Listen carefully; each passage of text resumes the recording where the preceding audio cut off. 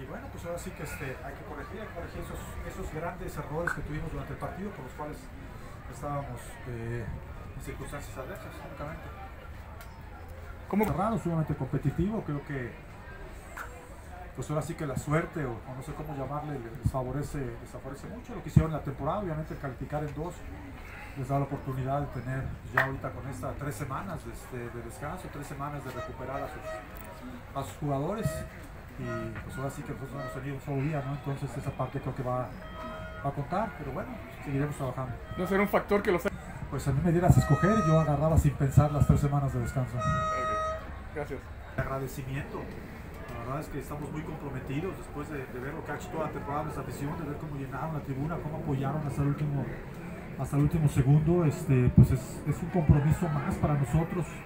El, estar agradecidos con ellos, el estar agradecidos con nuestro equipo, el estar agradecidos con nuestro franquiciatario, también esa parte es importante de, mencionar porque por lo general nada más se, publican eh, las cosas cuando los equipos no se les paga o algo y, aquí tenemos la, fortuna de estar en un equipo muy serio, una franquicia muy seria en la cual no pasan ese tipo de cosas, entonces también hay que resaltarla y estar a la altura nosotros de, la franquicia en la que estamos. Por mi parte, creo que obviamente fue un- una montaña rusa de emociones, pero justo lo que nos dice el coach Horacio, una, no dejamos de pelear, cuatro cuartos, ¿no? Jamás caímos en pánico. Sabíamos que podíamos remontar, sabíamos que podíamos ganar, pero no iba a ser en una jugada o, no íbamos a perder el juego en una jugada, entonces solo seguimos peleando. Pues yo en lo particular es un trabajo constante de la semana, ¿no?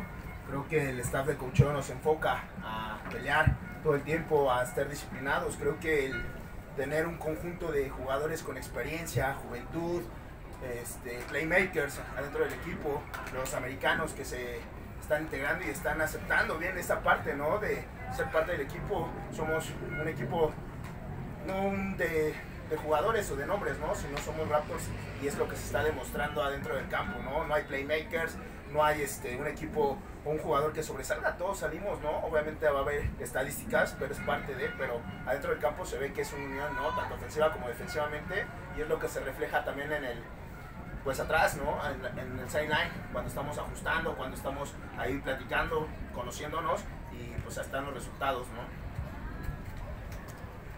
Este, pues sabíamos que iba a ser un partido difícil, tuvimos un partido complicado allá en Ciudad Juárez. Recibir aquí a, los jefes en casa, sabíamos que teníamos una pequeña ventaja, pero pues empezamos mal. La verdad fue algo que este, la ofensa ahí empezó muy mal. Supimos cómo aprovechar las oportunidades que nos dio la defensa, la defensa hizo su trabajo, platicamos al medio tiempo y fue cuando ya este, hicimos switch, ahí switch de mentalidad para, para afrontar el equipo, porque íbamos perdiendo por 10 puntos, íbamos perdiendo por 10 puntos, sabíamos que el que perdía se iba a casa, entonces sabíamos que teníamos que ganar. Estábamos listos, estábamos listos, el coach sabe, sabe, sa- confiamos en él, confiamos en él, confiamos en todo el cuerpo, el cuerpo de coaches y confiamos en todos los jugadores, que es la filosofía de Raptors, ¿no? De que no dependemos de un solo jugador. Creo que es, este, tenemos un talento increíble en el equipo y se demostró, ¿no? Sacamos el partido, ganamos y estamos en semifinales.